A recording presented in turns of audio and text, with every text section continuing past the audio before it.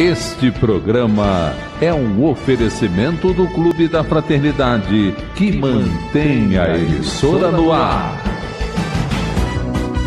No ar, debate na Rio.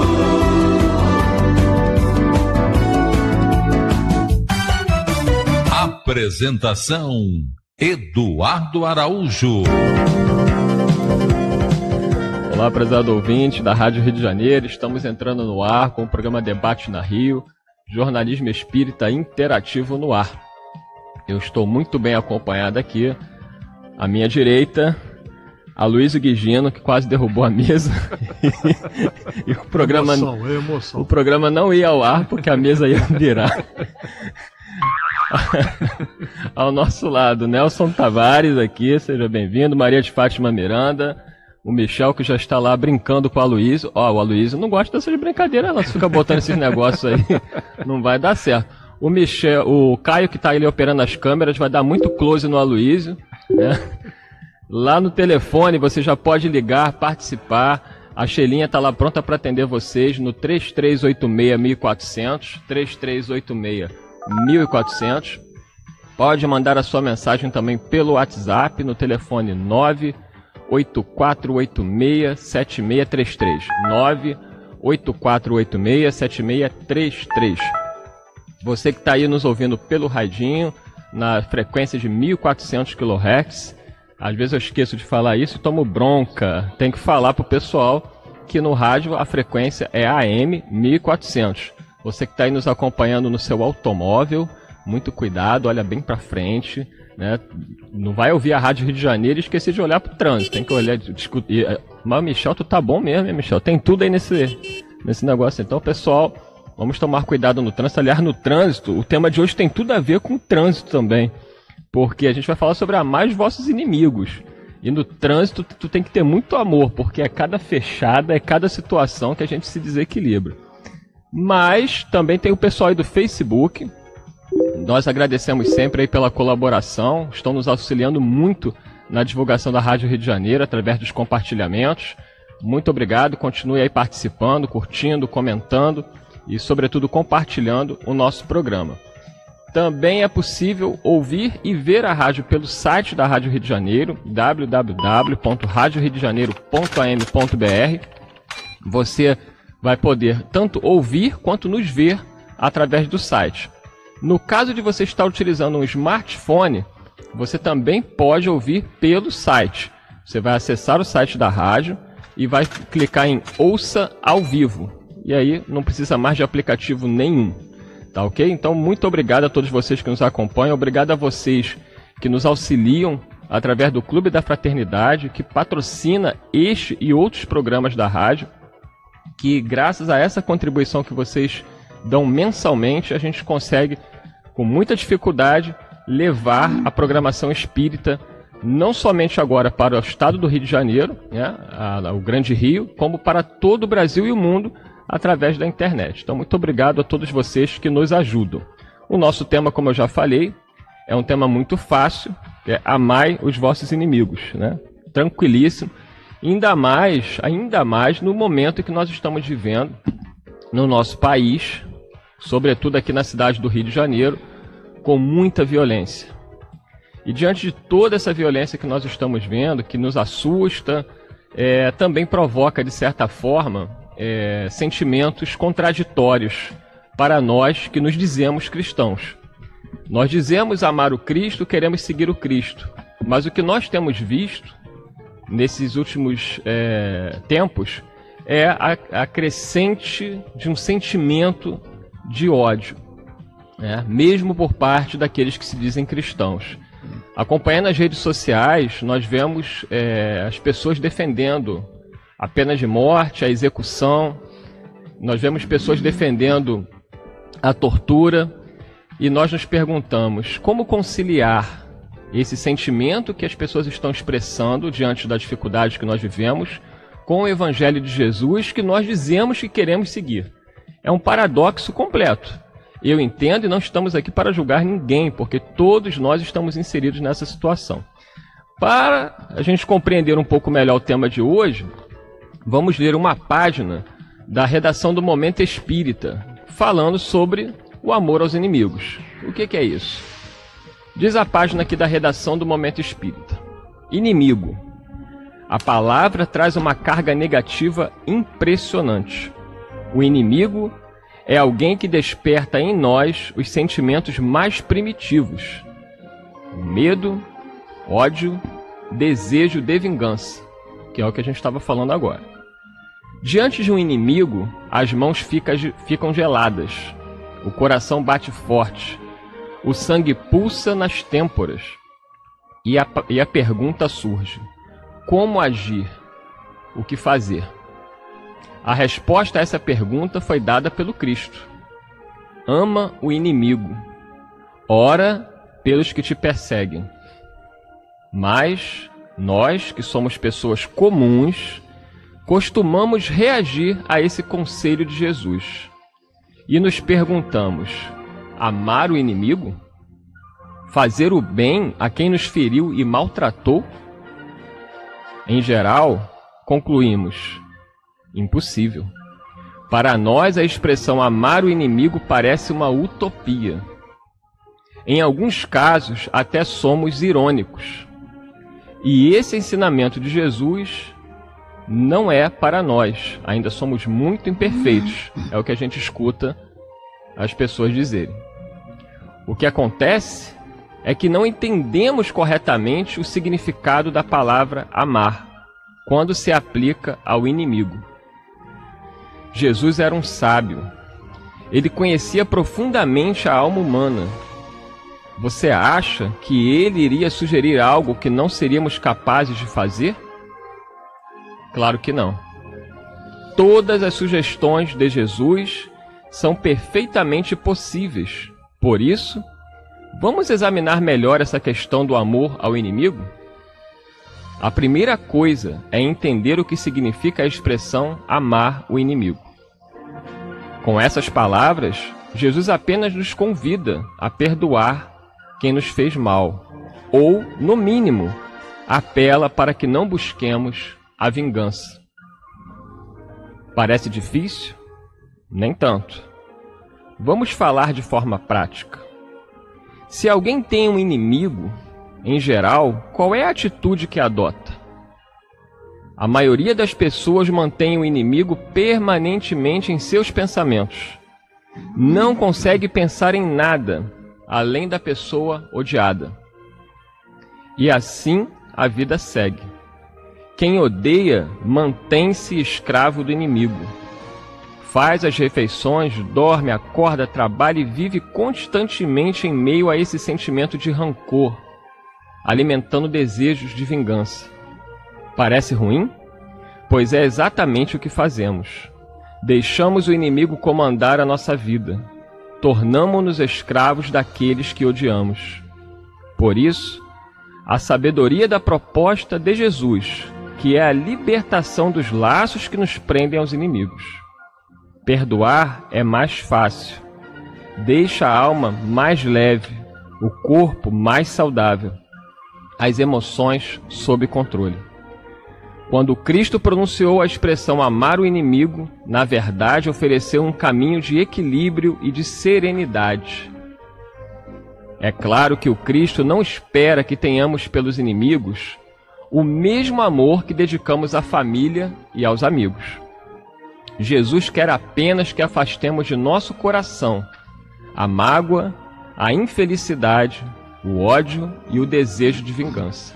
Vê que é, sempre trazendo essa, esse termo, né, o desejo da vingança. É muito importante a gente atentar a isso.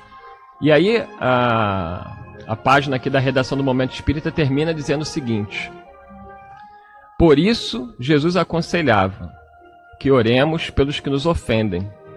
E nessas preces, pedi a Deus que nos dê força para superar a ofensa vivida.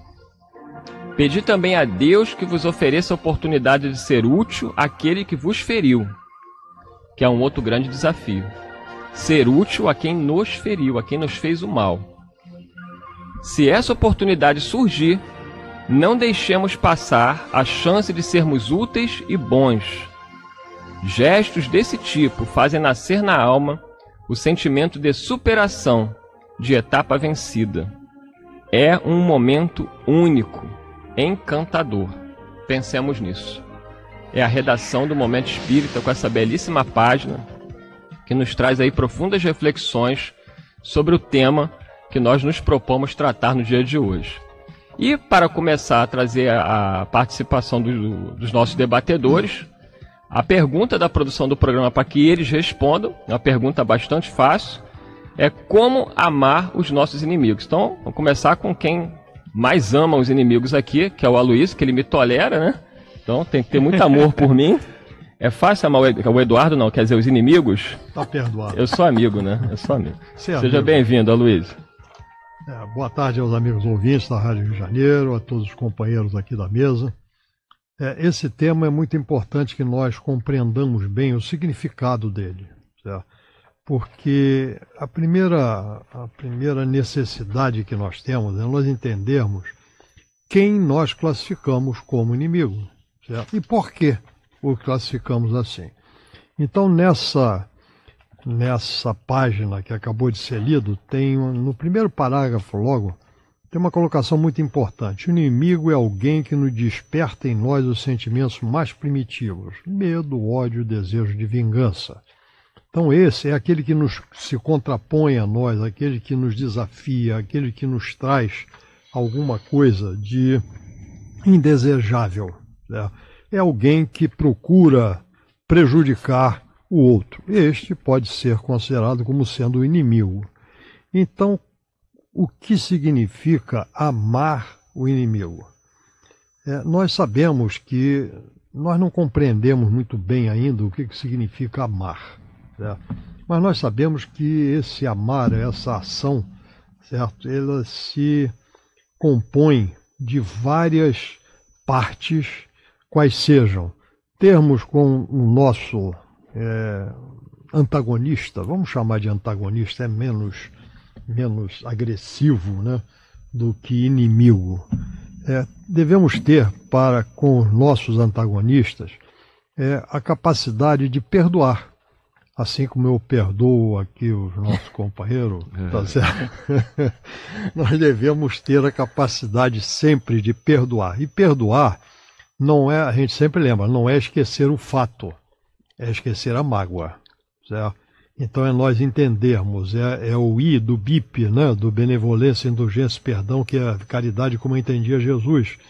Então é a indulgência, é nós entendermos se alguém age de determinada maneira e que nos agride de alguma forma, ele ainda o faz é por ainda estar numa etapa é, em que isto para ele é natural, apesar de não ser mais aceitável. É nós nos reconciliarmos com o adversário, conforme Jesus nos traz no Evangelho, né? Reconcilia-te com teu adversário enquanto estás a caminho. Há quantos nós estamos aqui? Temos que superar essas dificuldades é, nos reconciliando. E reconciliar significa estabelecer de novo a conciliação. Certo? É reconciliar. É, nós devemos é, ter em nós a vontade e o desejo de praticar o bem. É a benevolência né, do BIP, né?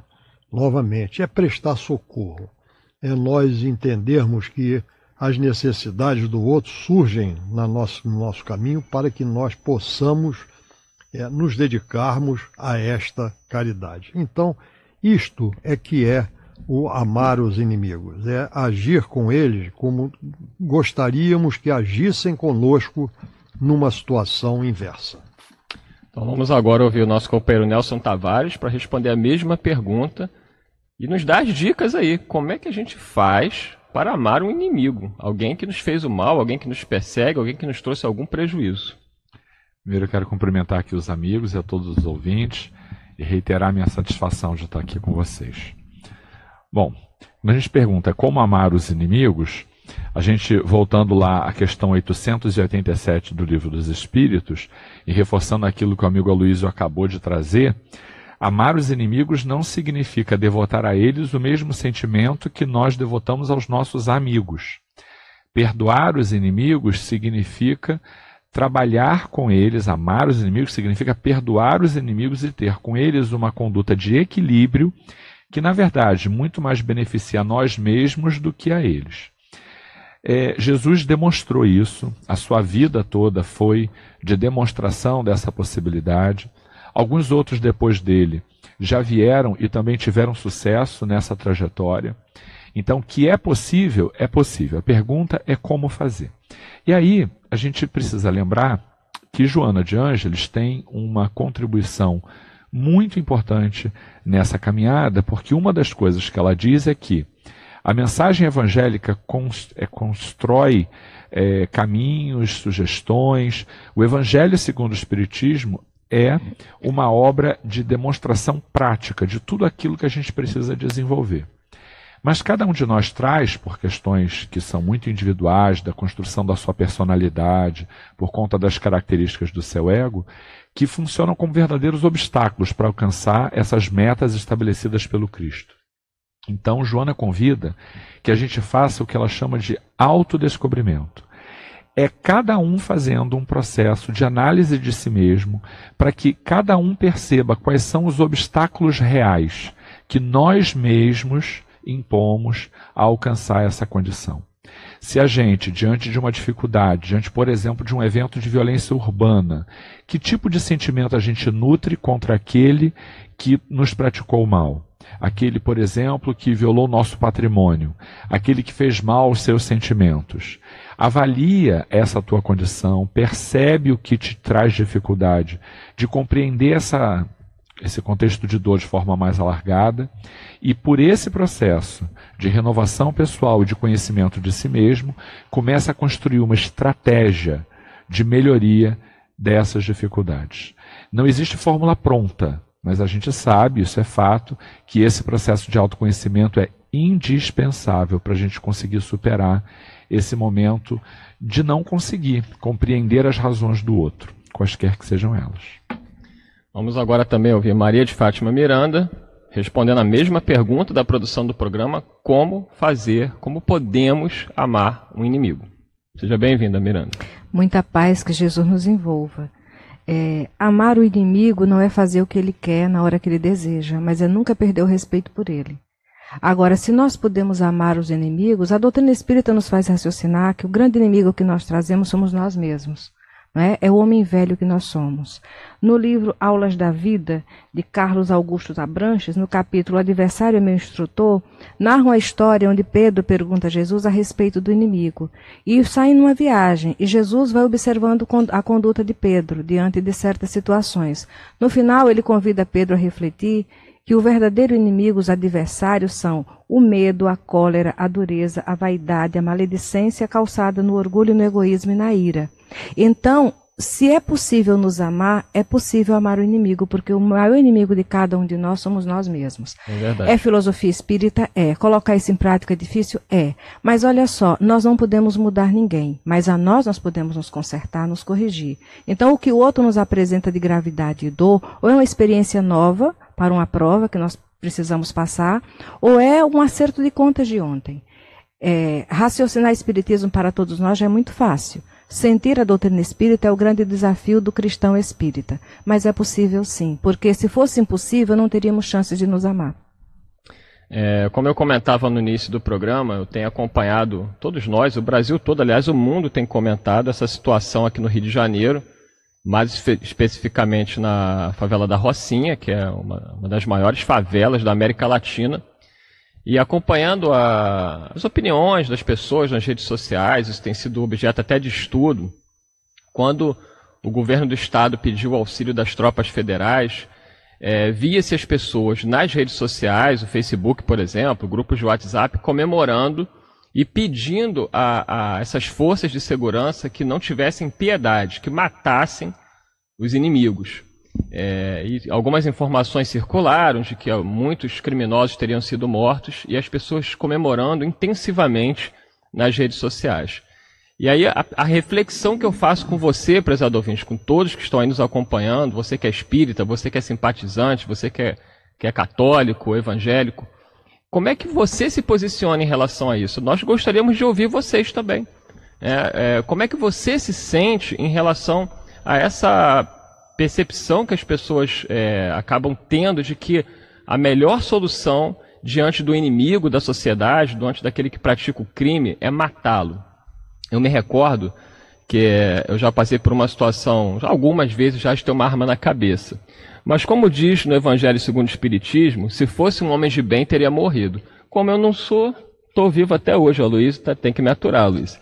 Está lá no Evangelho, né? Se fosse um homem de bem, teria morrido. Por quê? É, quando a gente tem uma situação dessa na vida, não é fácil, como o Nelson até citou, de você ter seus bens levados, você muitas vezes ser humilhado, é, a agressividade com que nós somos tratados. E eu me recordo que foi uma situação muito tensa. Eu estava de carro com a minha esposa e é, fomos cercados, tivemos que abandonar o carro e queriam, queriam me levar, aquela situação muito tensa. Teve um tiro, alguns tiros aí, nesse inteirinho eu consegui sair, fugir e sair daquele local. Depois que passa, é, é, a sensação que a gente fica é uma sensação muito estranha, né? De, é um misto de, de raiva, né, um sentimento de impotência, mas ao mesmo tempo nós chegamos em casa e decidimos fazer um, um, um culto no lar, né, um, uma oração, primeiro para agradecer pela oportunidade de termos saído ilesos daquela situação. Mas no mesmo momento, racionalmente, eu não estou dizendo que eu sinto isso, é uma questão de raciocínio, de estudo, nós decidimos fazer uma oração por aqueles que é, estavam ali naquela, naquele momento, que praticaram aquele assalto. Por quê? Porque são irmãos nossos, equivocados, num caminho completamente difícil, mas são irmãos nossos. Não estou dizendo aqui, repito, que eu fiz isso porque é, eu sinto isso, mas eu fiz porque nós precisamos raciocinar sobre o que nós estudamos. E naquele momento nós ficamos muito felizes em, pelo menos, exercitarmos racionalmente o Evangelho de Jesus, que é orar por quem nos persegue e calunia. Então eu gostaria de ouvir vocês, que vocês participassem dizendo como vocês lidam com essa situação. Vocês alimentam esse ódio, esse desejo de vingança diante do inimigo clássico, que é esse inimigo do dia a dia, da sociedade, ou de um inimigo pessoal. Como vocês lidam com isso? Então participem pelo telefone 3386 1400 pelo WhatsApp no telefone 984867633 e também pelo Facebook, deixando aí a sua mensagem e, sobretudo, compartilhando o nosso programa para que muitas pessoas possam ter acesso e possam fazer esta reflexão. Temos aí um tempinho curto, né? Vamos trazer já algumas participações, assim, citar vocês que já estão conosco. Ó, a Selma Renata Ferreira está aqui no Facebook, Joésia Rangel, Shirley do Rosário, grande amiga Shirley, lá da União Espírita Carlos Chagas, Rita de Cássia, a Nini Lírio, grande amiga, grande enfermeira, Adriana Cristina, Tânia Stidville, certo? A Tânia está sempre com a gente. Só a Marta Batista que. A Nádia, a Nádia também fala muito bem o nome da Tânia.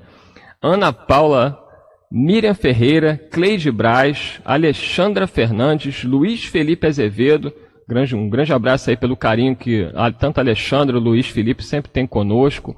Miriam Ferreira, Giza Brown, Sofia Maier, também grande amiga, grande incentivadora e divulgadora da Rádio Rio de Janeiro. Vera Lúcia, André Meirelles, mas quem aqui? Maria Santa Rosa. Aí, vamos aqui do WhatsApp também, o pessoal participando. Ó, tem a, pelo telefone já ligou a Terezinha de Itaguaí, que já me ligou hoje para me desejar uma ótima semana. É interessante como os ouvintes parece que eles viram a nossa família. Né? É muito legal isso, um carinho aí do pessoal. Por falar em família, tem gente na família fazendo aniversário hoje, não tem não, Eduardo? Na tua família não José tem? Valdeci de Araújo fez ontem. Ah, foi ontem? Ontem, ah. meu pai, né? Um grande abraço, parabéns para ele. E hoje a minha sogra, Maria Rosa. Então, todo mundo fazendo aniversário. O Nelson tá sabendo, tá? Às vezes, ó, é. tá, tá, sabendo das coisas. A Wanda Girajá. Acompanha, viu? É, também acompanha. A Wanda Girajá também aqui pelo telefone. A Vivian da Praia de Mauá, que beleza, é muito linda aí a vista, hein? Enfim, muitas participações, já vou agradecendo aí a todo mundo. Nós vamos a um pequeno intervalo. Daqui a pouquinho voltamos com o programa Debate na Rio. Parabéns, parabéns, parabéns pra você. Debate na Rio.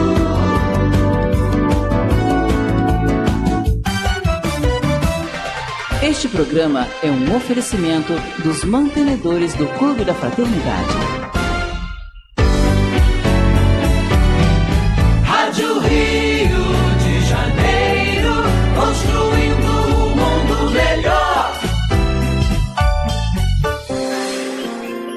Você é participante do Clube da Fraternidade da Rádio Rio de Janeiro e não receber o boleto bancário até o dia 10 de cada mês para realizar a sua contribuição mensal, entre em contato conosco para que possamos enviar uma segunda via do boleto. Para isso, ligue 0 Operadora 21 33861422 ou envie mensagem para o e-mail clube da fraternidade arroba rádio Rio de Janeiro ponto am ponto br. Lembre-se, não recebendo o boleto bancário, entre em contato para emitirmos a segunda via do boleto e continuarmos juntos na, na família, família Rádio Rio de Janeiro.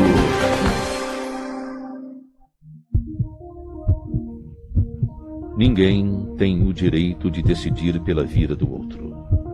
O nascimento de uma criança é a alegria de muitas outras vidas.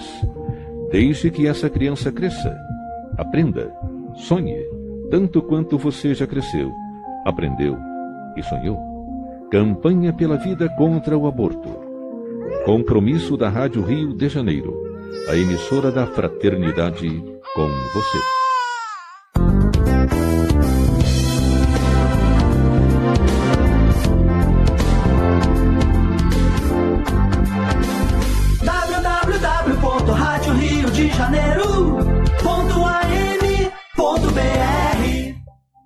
Atenção ouvinte e mantenedor do Clube da Fraternidade da Rádio Rio de Janeiro. Você que ainda não atualizou seus dados cadastrais, precisamos atualizá-los. Para isso, envie preferencialmente seus dados para o e-mail clube da fraternidade arroba rádio Rio de ou ligue para 0 operadora 21 3386 1404 ou 3386 1422, informando nome conforme cadastrado em seu boleto de contribuição, número do CPF, telefone, endereço completo com CEP, a data de nascimento e o e-mail. A Rádio Rio de Janeiro agradece sua colaboração. A Rádio Rio de Janeiro está inovando e o Clube da Fraternidade também. Não fique de fora dessa. Eu, Cristiano Moreira, estou aqui com vocês todas as sextas-feiras ao meio-dia, com reprise aos domingos, 11h30 da manhã. Eventos, descontos, benefícios e a prestação de contas que nós, a emissora da Fraternidade, teremos com você. Clube da Fraternidade, Rádio Rio de Janeiro e você, juntos por um mundo melhor. ZYJ 462, Rádio Rio de Janeiro, 1400 AM.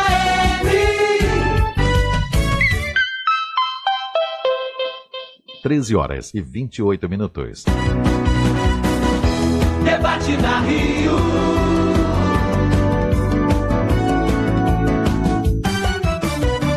Apresentação Eduardo Araújo.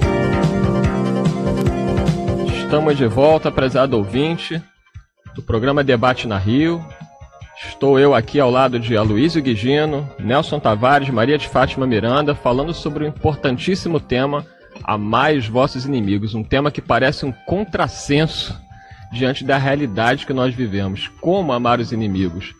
Os nossos debatedores já deram algumas dicas, então eles são pessoas que vocês podem confiar, pode pisar no pé do Nelson, pode, ó, quando vocês veem o carro do Nelson, qual é seu carro, Nelson?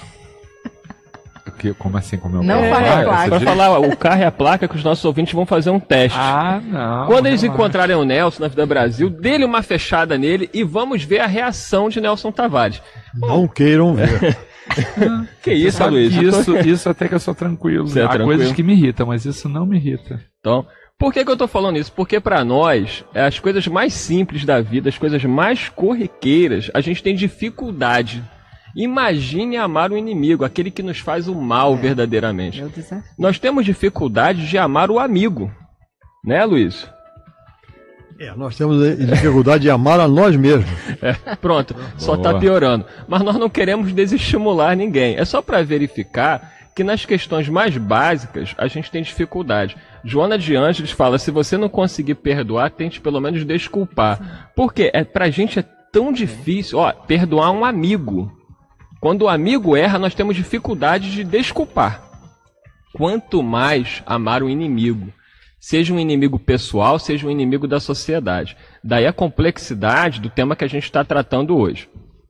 Nós lemos no início, ah, vou ler só um trechinho. O pessoal perguntou aqui na, pelo zap também qual foi a página que nós lemos na abertura. É fácil achar essa página. O título dela é Inimigos. E aí você digita lá no Google Inimigos, redação do Momento Espírita. Vocês vão achar a página. Eu vou ler o início. Eles falam o seguinte: inimigo. A palavra traz uma carga negativa impressionante.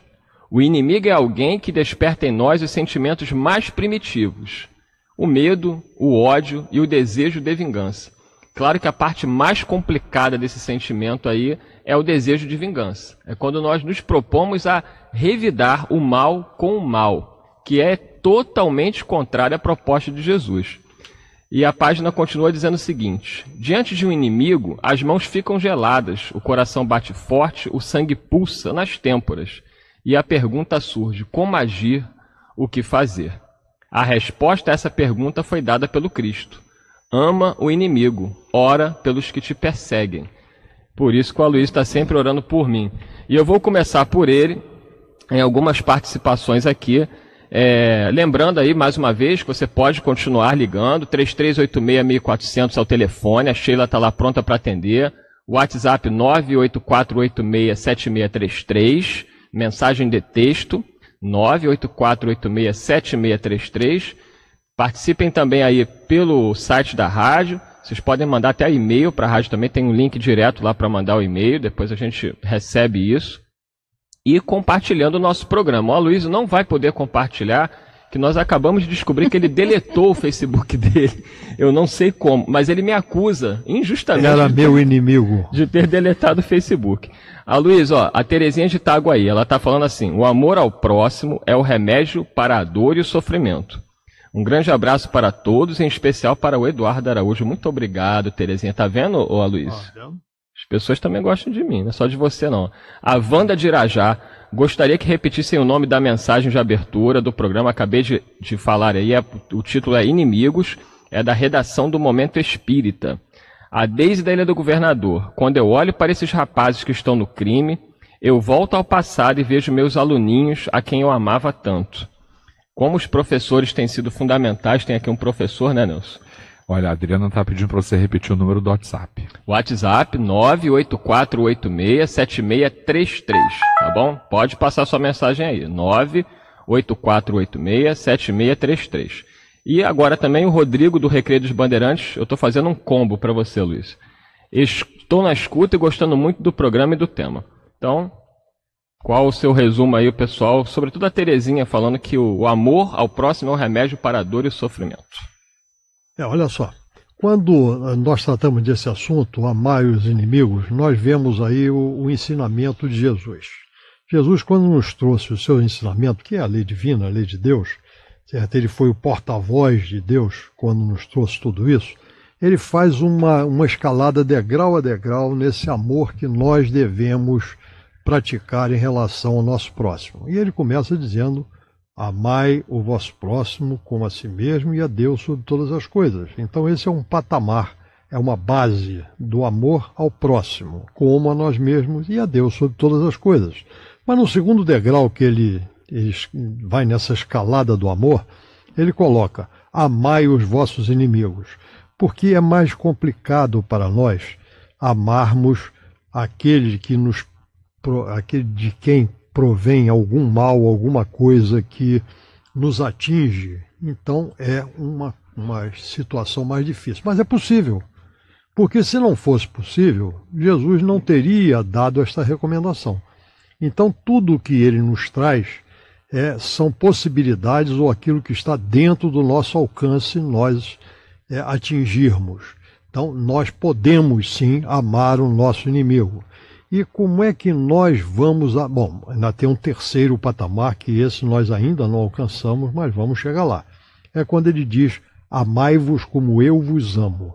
Certo? Esse nós ainda não chegamos, porque nós ainda não temos o, o, o, amor generalizado, universal certo? Para todos nós ainda temos um amor aplicado a uma parcela daqueles que chegam até nós.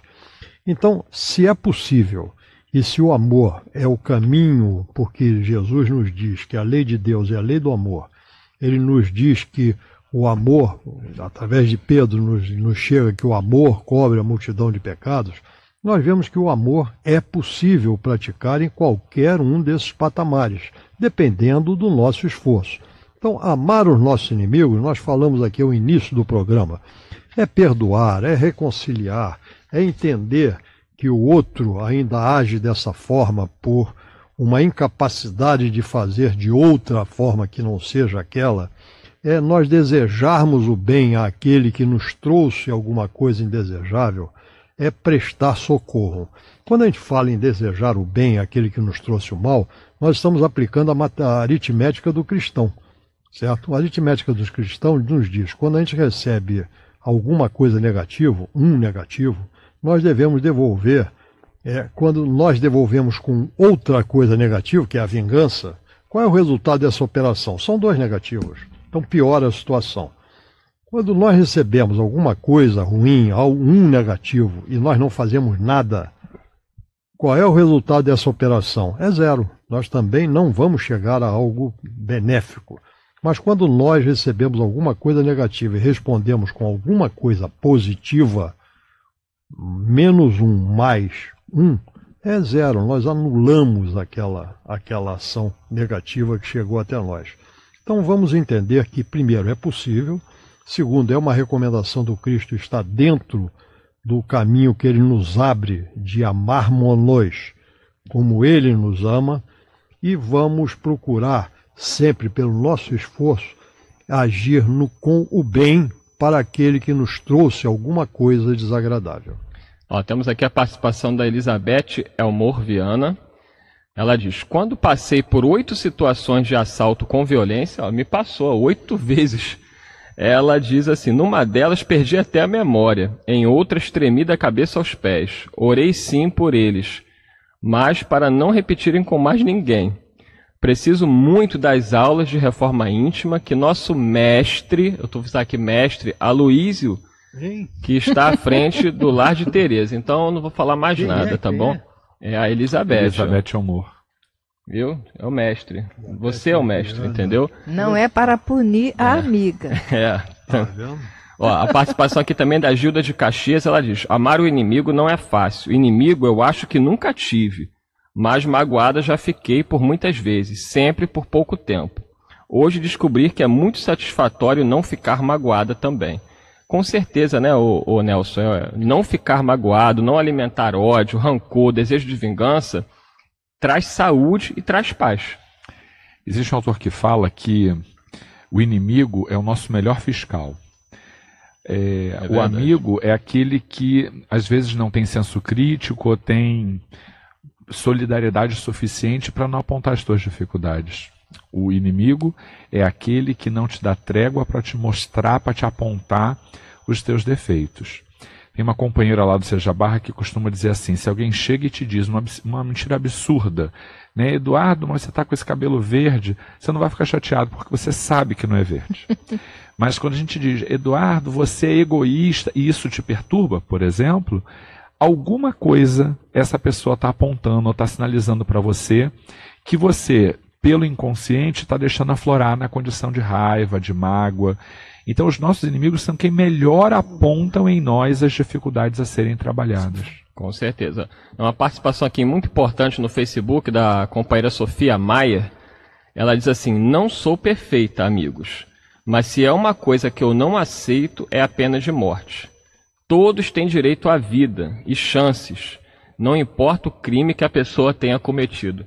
Olha, parabéns aí a Sofia, a, a, concordo em gênero, número e grau, mas precisamos até aprofundar isso que a Sofia está falando, Miranda. É, quando um cristão torce para que o inimigo seja assassinado, ele está mostrando que não é cristão, ele é incrédulo.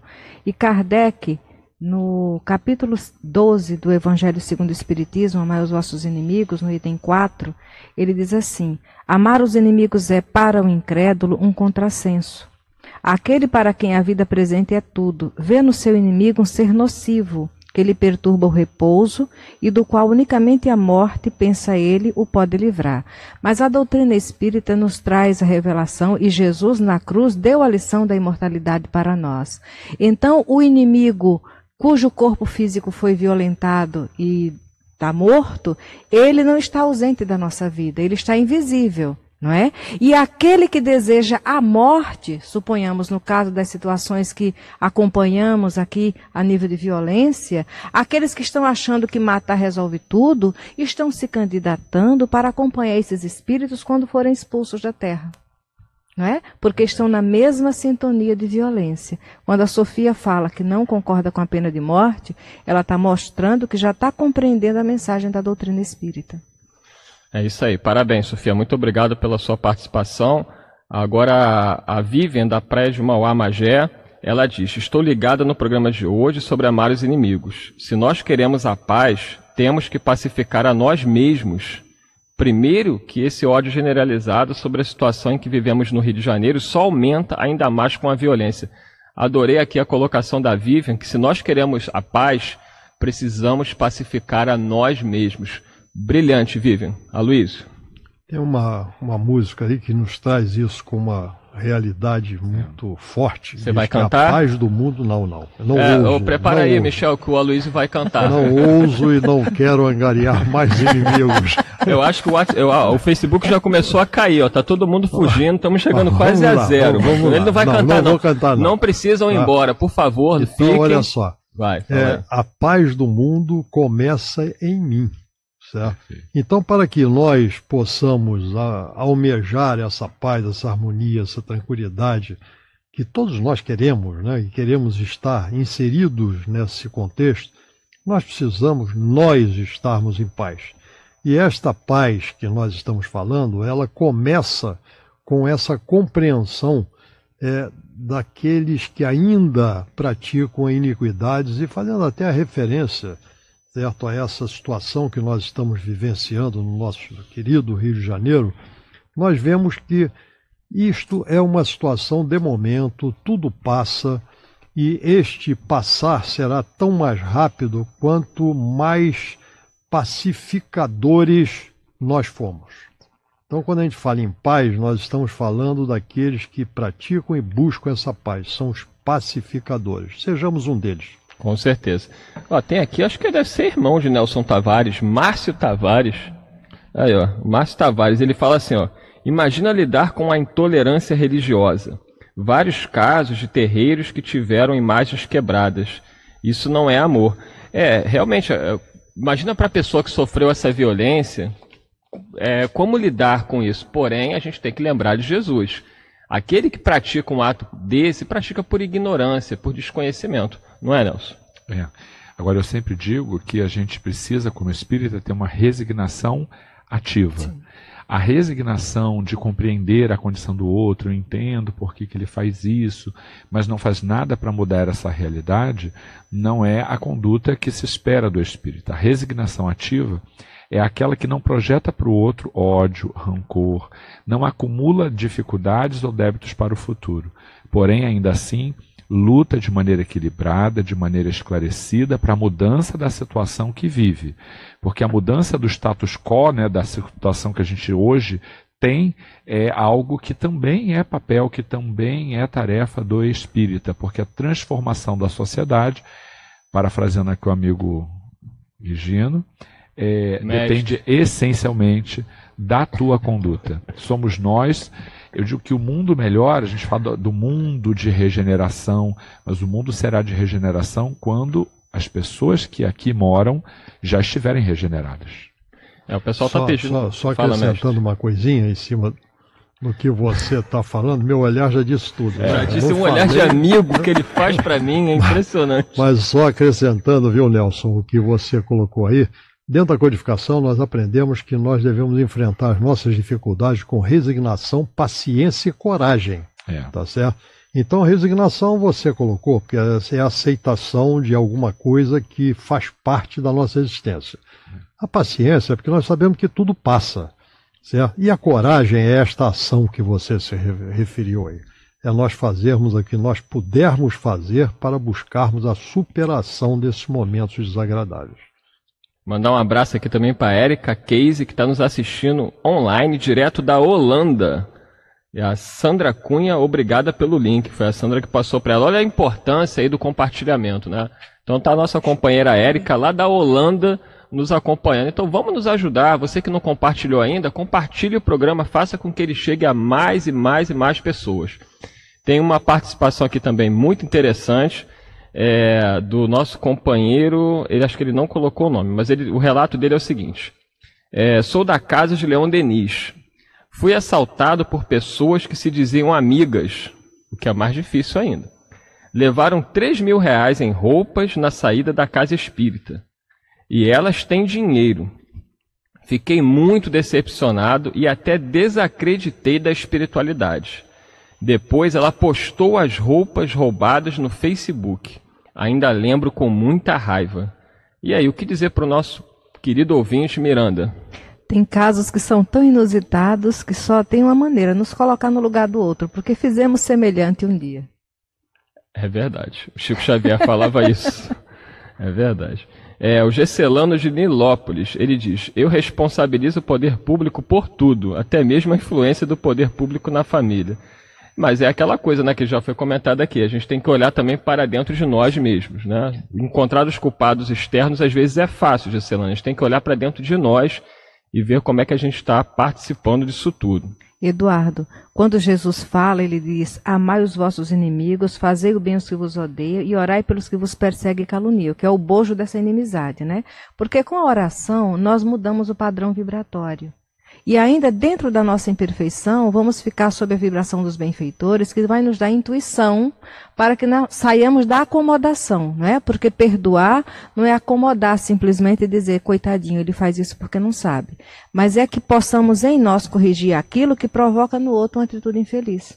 É, a participação aqui da Alexandra Fernandes, ela diz, quem agora eu até me perdi. A Luísa. A Luísa Guigino. Ela diz assim, ó, eu me sinto triste em ver esses comentários tão ignorantes. Bandido bom é bandido morto. É muita falta de Deus, falta de amor. E aí, Aloysio? É, aí tem uma incoerência, né? Bandido bom. Ainda não existe aquele que já atingiu esse patamar. Nós mesmo que não fazemos essas iniquidades todas, eu costumo dizer que nós não somos bons, nós que, mas já queremos ser bons. Então, veja bem, é, é alguém que ainda está numa zona certo? De progresso mais inferior. Então nós devemos entender isso em primeiro lugar, e em segundo lugar, ver o que compete a cada um de nós, o que está ao nosso alcance para nem que seja pelo exemplo, certo? Nem que seja pela ausência da maledicência, nem que seja pela pelo não pela não adoção destas é, colocações que são extremamente negativas e a nossa palavra, o nosso pensamento tem energia. Certo? Então, nós não compactuarmos com essas energias negativas e nós fazermos o que está ao nosso alcance para contribuirmos para a superação disso. Uma pergunta ao Nelson Tavares: o que, que, é isso aqui? Ó? É, é, a deusa de piedade. Ela quer saber, Nelson, onde encontrar o livro Novos Rumos no Centro Espírita. Você sabe? Olha, normalmente as livrarias espíritas têm esse livro. Esse livro é do Givaldo, e esse livro é, é um livreto, na verdade, que fala sobre a conduta do frequentador da casa espírita, do dirigente da casa espírita, para a transformação da realidade dessa pequena comunidade. Em geral, a gente consegue encontrar nas grandes livrarias, mas você consegue também comprar pelo site da Mansão do Caminho. É, o pessoal aqui mandando muitos corações. Tem gente pedindo para Miranda cantar a música Paz no Mundo. O pessoal quer que a gente termine o programa cantando juntos. Eu não sei se a gente pode Olha, ser eu vou sugerir, da rádio. Eu vou entendeu? sugerir à mesa que quando terminar o programa a gente dê um passe no Eduardo, porque. Logo essa tá vozinha tá com a rachada, meu Deus, gente, que desespero. Ó, no final do programa, que a audiência não cai tanto, ó, falta cinco minutos. Ó, vamos agradecer o pessoal participando, Marco Antônio Pereira, Alexandra Fernandes mandando um monte de corações para a gente, Débora Castilho, é, a Tânia Stilville parabenizando a todos nós, muito obrigado. A Maria Clara Portugal, grande divulgadora da rádio, grande amiga nossa, Cleide Assi, Verônica Silva, é, Esse aqui é o nome difícil do senhor, é Ezequiel, Ezequiel Lima. Acho que é isso, acho que eu acertei. Mais quem aqui? O, a Terezinha Lima, um grande abraço amiga Terezinha Lima, Fátima Neves, mais aqui é o Jorge Luiz da Pavuna, esse também que é um dos maiores divulgadores da Rádio Rio de Janeiro. Ele diz: divulgar a Rádio Rio de Janeiro é minha contribuição para melhorar a nossa cidade. Não só a cidade, Jorge, mas todo o Brasil e o mundo, que a rádio está chegando em todos os lugares. Temos aqui a nossa companheira que está lá, a Érica, da Holanda. Deixa eu ver mais algumas participações aqui, para a gente terminar com a nossa música, que todos irão cantar. Olha, é uma cobrança dos ouvintes, vocês vão ter que ter coragem. Vamos ter coragem. O problema do Michel ali, seleciona Olha, a a gente pode ter coragem, mas nem todos terão a paciência Meu necessária para Eu vou medir aqui pela audiência do Facebook. Quando a gente começar a cantar, o que vai acontecer? Vamos lá. É, a Rita, do Arsenal em São Gonçalo, ela diz: A gente perdoa, mas não consegue entender por que, ainda assim, perdoando as pessoas continuam a fazer as mesmas coisas. É muito difícil. Parece uma roda sempre voltando. Você perdoa e daqui a pouco, outra vez a mesma situação. Não desejo mal a ninguém. Minha querida, como é o nome dela? É a Rita, de Rita. Arsenal. Minha querida Rita de Arsenal. Olha só, quando a gente perdoa, nós estamos agindo em benefício de nós próprios, tá certo? Porque eu não mudo o outro. Eu estou mudando a mim pela compreensão, pelo amor que eu estou dedicando ao outro. E através do meu exemplo é que pode ocorrer uma mudança no outro. Então não espere uma mudança no outro por uma atitude que você está assumindo. Faça aquilo que você sabe que deve ser feito. É isso aí. Considerações finais aí, 30 segundinhos para Miranda. A primeira palavra é quando ele diz na mensagem que o inimigo é uma palavra de uma carga negativa impressionante, né? Então, são rótulos. O amigo também é um rótulo. Então, quando nós rotulamos outro de amigo, coloca, elegemos ele para um patamar que nem sempre ele, tá, ele corresponde.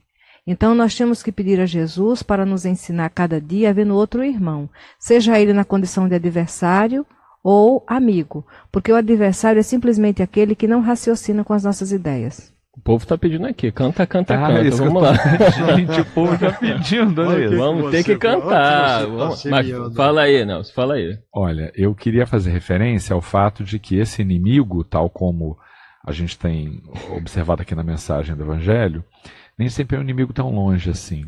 Muitos vivem situações de conflito muito intensas dentro do próprio lar. E esse inimigo, nas palavras aqui do Evangelho, está mais próximo do que a gente imagina. Bom, para esses companheiros, queria dizer que se a gente ainda não consegue conciliar com palavras, com atos e com emoções genuínas, que pelo menos a gente consiga estar perto dessa pessoa fazendo uma reflexão de perdão. Quer dizer, fala aquilo que você não tem coragem de dizer para o outro é, mentalmente. Essa situação de proximidade com uma mensagem de elevação e de perdão vai mudar a própria relação, a própria maneira como essa, essa relação se construiu. E novos caminhos podem se abrir nesse sentido para que você possa ter momentos mais felizes. O Nelson tá falando muito para não dar tempo de cantar. Olha, quinta-feira o tema é drogas com o nosso companheiro André Afonso Monteiro. E agora vamos cantar. Vamos lá, Miranda, puxa aí. Pode puxar você. Puxa você, você, que deu a depois ideia. a gente É, vai. Vai, vai, vai. puxar. Deu a ideia, Vai, vai. Vai lá, vai lá, vai lá. A paz Ó, do tá vendo? Começa em mim. Se eu tenho amor, Com com certeza certeza sou feliz. feliz. Se eu faço chega, bem, Já cantamos. meu já irmão. cantamos. tenho a certeza dentro do meu coração. Chega. Ah, O refrão. Chegou a hora Cantar da é gente comigo. construir a paz. Esse pessoal não tá com nada, prezado ouvinte. Aí, ó. O Nelson nem se arriscou a cantar. Nem se arriscou. É porque o nosso desafio é colocar em prática a música. A audiência aumentou, gente. Prezado ouvinte, muito obrigado pela participação de todos vocês.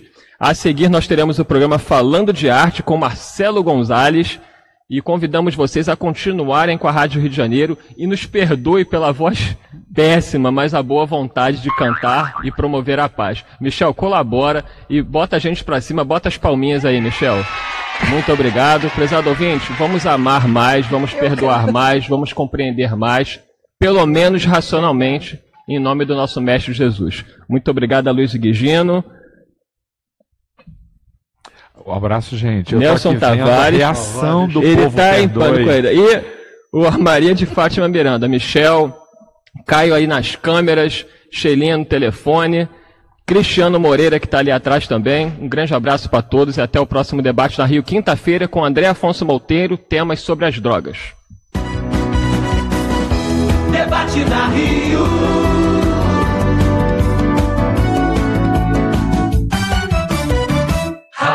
Rio de Janeiro. No Rio de Janeiro, homem